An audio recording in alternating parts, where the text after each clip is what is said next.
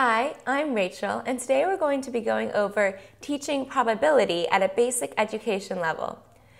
It's very important that they realize what probability is. Probability is the likelihood that something will happen. It doesn't necessarily mean that it will happen, it's just the likelihood, the probability. A great example that, you know, we use when, we do, when we're doing basic problems is dice. Dice, there's six possibilities, right?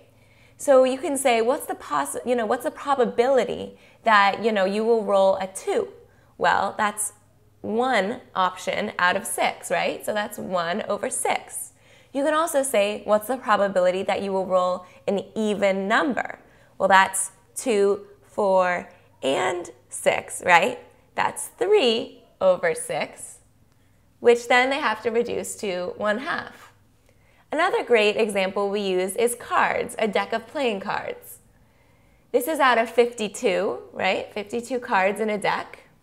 And there might be something like, you know, uh, what's the probability that you will pour, um, that you will pull out a four, right? Any four. Well, that's there's four fours in the deck. You could also say, what's the probability that you will pull out, you know, the four of clubs, right? That's only one um, out of 52. And this is great, you know, they can practice reducing fractions and all of that. I'm Rachel, and thanks for learning with us today.